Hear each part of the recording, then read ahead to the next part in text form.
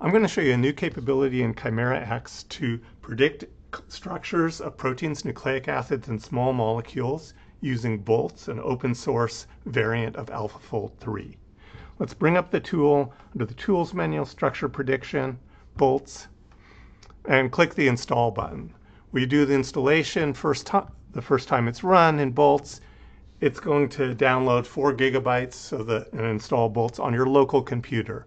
The predictions will be run on your Mac, Windows, or Linux computer. It doesn't require an NVIDIA GPU. Let's come back when the installation is done. Okay, the installation finished. Let's run a prediction. I'm opening an experimental structure here. This is of a transcription factor in cyanobacteria, just detects low nitrogen levels and binds to DNA.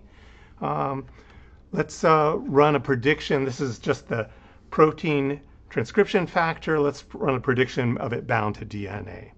So first I'll make a, I'm going to enter a prediction name for it. The protein is called NTCA, and I'll say, call it NTCDNA. This will be used in the output folder and file names. We'll now add the uh, protein dimer. I select it in the menu, click the add button. Now I'm going to add the DNA sequence. I'll paste in the sequence, click the add button, it adds it to the table here. I'm going to click the add button again since it says it's only added one strand of DNA. Let's add two strands. It's a palindromic DNA, so it forms a duplex. And then there's one more component. It's a small molecule, 2-oxoglutarate, that activates this transcription factor.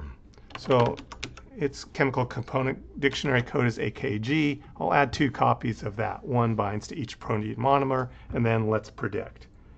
Okay, while the prediction's running, it runs in the background. I can move the structure, do anything I want in ChimeraX, and the new structure will be opened, the predicted structure, when it's finished. Let's come back when it finishes. Okay, the prediction finished in a bit under two minutes. Let me hide the experimental structure. We see the prediction in blue. This is the standard AlphaFold style coloring. Blue means high confidence. It has high, Boltz has high confidence in each of the molecular components. If we click this error plot but, button, it shows the predicted aligned error.